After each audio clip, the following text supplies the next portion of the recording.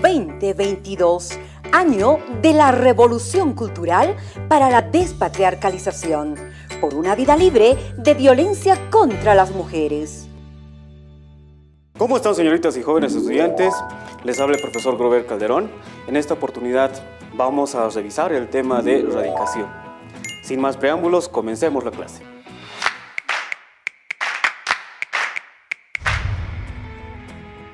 Bueno, queridos estudiantes, vamos a continuar nuestro tema de radicación.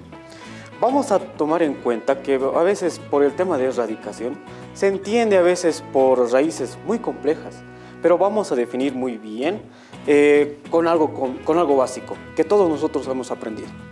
Eh, se define como la radicación es la operación inversa de la potenciación nosotros hemos visto un tema de potenciación mucho más antes, ¿verdad? Bueno, también se puede entender la potenciación como la operación matemática que encuentra o extrae la raíz de un número, ¿de acuerdo? Ese básicamente es. Pero de manera más sencilla, pues podemos entender así, miren, básicamente consiste en encontrar la base de la potencia, conociendo siempre el exponente. Pero ustedes todavía comprenderán que las partes son a veces complejas. ¿no? Vamos a ver algunas partes de, la radicación, ¿de acuerdo? Eh, la radicación tiene las siguientes partes. Primero vamos a ver el índice del radical, luego el radicando y luego pues a este resultado se conoce como raíz.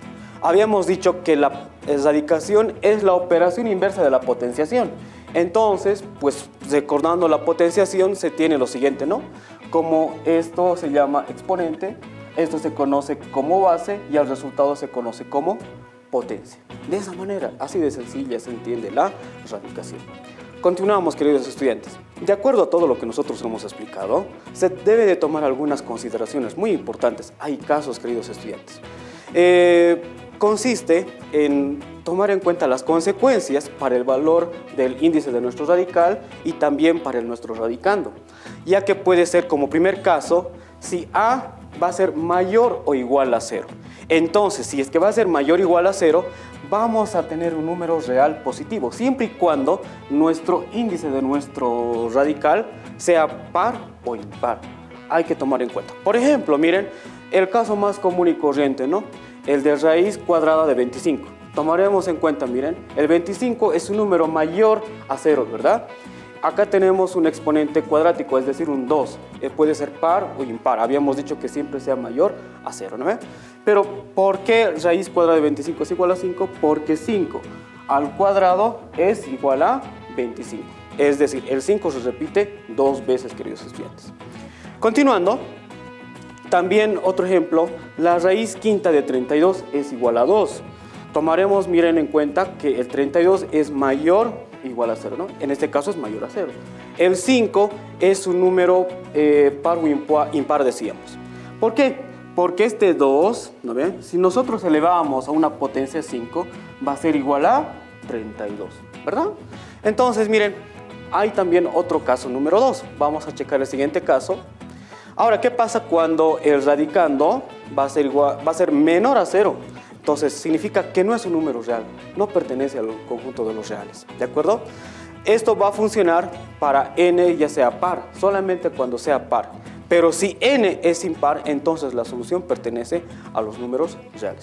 Más clarito con el ejemplo que vamos a presentar, va a ser, miren, raíz cuarta de menos 16. Ah, es un número negativo, eh, no está dentro de los eh, que son eh, enteros, ¿verdad? Es un número negativo, menor a cero, dice nuestra condición. Entonces, eh, va a ser igual a 2, decimos, ¿no? Pero no, este resultado está mal, no es un número real. Repito, jóvenes, por favor, tomar en cuenta esto. Cuando el radicando es menor a cero, no es un número real, ¿ya?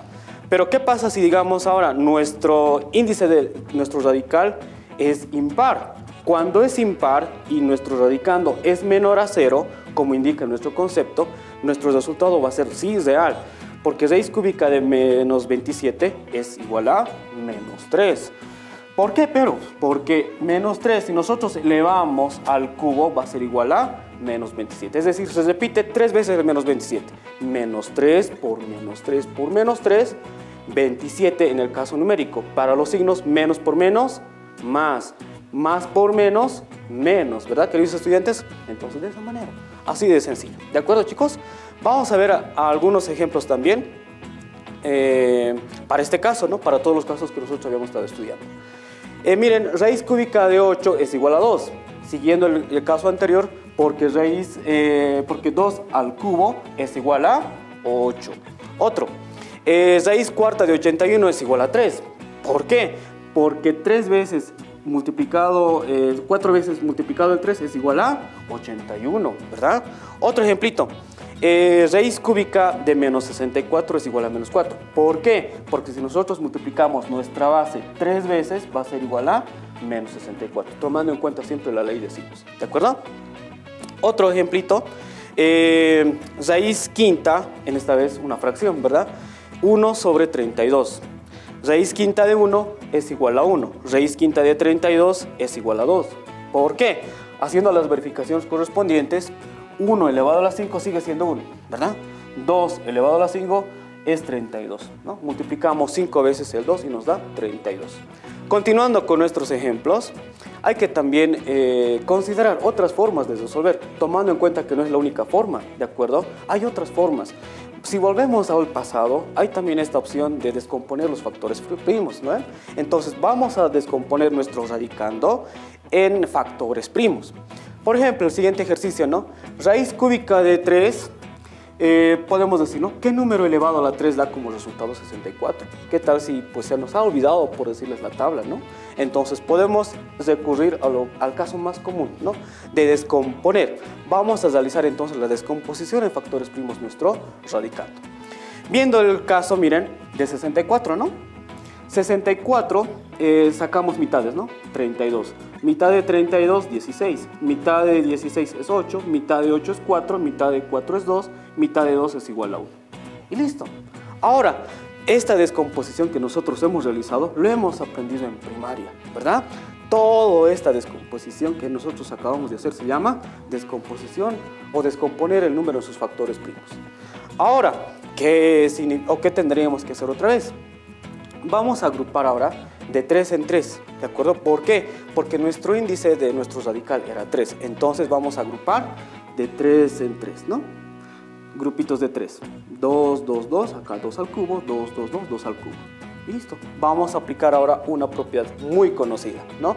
La que es el 2 elevado al cubo por 2 elevado al cubo nos sigue dando 64, ¿verdad? A esto nosotros, todo este valor que nosotros hemos encontrado del 64, lo vamos a reemplazar dentro de nuestro radicando. Ahora, aplicando la propiedad de potencia de una raíz, eh, se simplifica el 3 con el 3. El 3 con el 3. Se va a simplificar con nuestro índice de nuestro radical. Pues el caso, el cuarto caso, perdón, pues solamente, como les decía, simplificar. 3 el 3, el 3 con el 3 y nos va a quedar 2 por 2. Haciendo el producto de eso nos va a dar 64. Por eso es que raíz cúbica de 64 va a ser igual a 4. ¿Verdad, queridos estudiantes? Y de esta manera se hace la resolución de nuestros ejercicios. No es que estamos obligados a mantener la primera opción que habíamos estado estudiando, sino también esta opción también, haciendo la descomposición de los factores primos. ¿De acuerdo? Eh, otro ejemplito, raíz cuadrada, se sobreentiende que hay un 2, ¿verdad? Raíz cuadrada de 72, pues vamos a hacer el mismo caso, ¿ya? El índice del radical es 2, por lo tanto debemos reunir factores iguales en grupos de 2. Hace rato era grupitos de 3, ahora vamos a hacer grupitos de 2, ¿no? Miren esta oportunidad.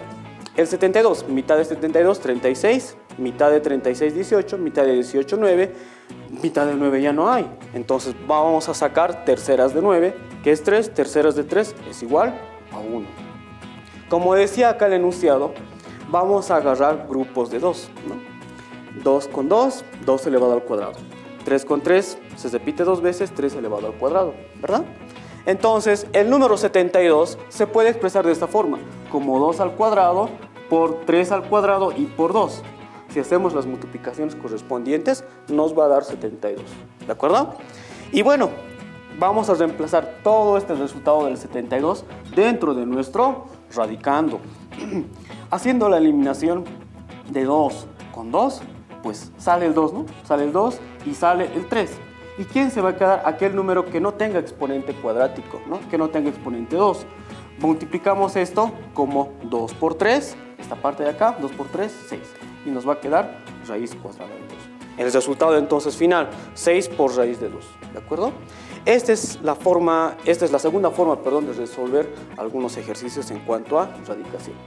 Veamos algunas propiedades más para poder comprender o hacer ejercicios mucho más complejos en el cual pues se viene para el tema de álgebra. Eh, las siguientes leyes son verdaderas, ojo, si A, B pertenecen a los reales y M y N pertenece a los números enteros, siempre que existan las raíces indicadas, es decir, que las raíces sean números reales. ¿De acuerdo? Por ejemplo, la primera propiedad, la que no debemos olvidar, es la siguiente, raíz de un producto. Raíz de un producto es cuando tenemos ¿no? dentro de nuestro radicando un factor, ¿no? es decir, A por B. ¿Qué vamos a hacer? Este numerito, cualquiera es el número que vamos a poner en A, se va a separar con el índice de la raíz, ¿no? con la misma raíz, siempre y cuando esté en producto también para la letra B, o es decir, para cualquier otro número, el cual vamos a poner ahí. ¿De acuerdo? Eh, otra propiedad muy importante es la raíz de un cociente. Funciona también para una división, ¿no? Cuando tenemos una división o un cociente. La raíz se va a repartir tanto para el numerador y también para el denominador. ¿De acuerdo? Otra propiedad muy importante es la potencia de una raíz. Decimos que este numerito, eh, el cual va a estar fuera de nuestro paréntesis, va a ingresar primero dentro de nuestro radicando como exponente para nuestro radicando. Ahora, el índice de nuestra raíz va a venir a dividir, pero para el exponente de nuestro radicando. Entonces se va a quedar en esa forma, m sobre n. Y así de sencillo, ¿verdad? Vamos a ver otra propiedad, la propiedad que dice raíz de un radical. La raíz de un radical nos indica, ¿no? Que tenemos una raíz y otra raíz, ¿no? Puede ir a las raíces que tenemos dentro de nuestro radicando. Para eso nuestros índices se van a multiplicar m por n, m por n. Y nuestro radical pues se queda ahí como radical. Eh, tomar en cuenta, por favor, queridos estudiantes, eh, el enunciado que tenemos acá. A y B, es decir, los términos de nuestro radicando que hemos puesto acá, siempre tienen que estar eh, dentro del conjunto de nuestros reales. Y para los índices de nuestras raíces están en el conjunto de los números enteros no puede ser eh, menos n, no puede ser menos m, siempre tienen que ser eh, positivos. ¿De acuerdo? Bien, queridos estudiantes, hemos terminado. Espero haya sido de su agrado. No olviden, por favor, recordar todo lo que nosotros habíamos estado viendo. Para los posteriores temas, es importante que ustedes repasen. Nos vemos en nuestra siguiente clase. Hasta otra oportunidad, queridos estudiantes. 2022, año de la revolución cultural para la despatriarcalización por una vida libre de violencia contra las mujeres.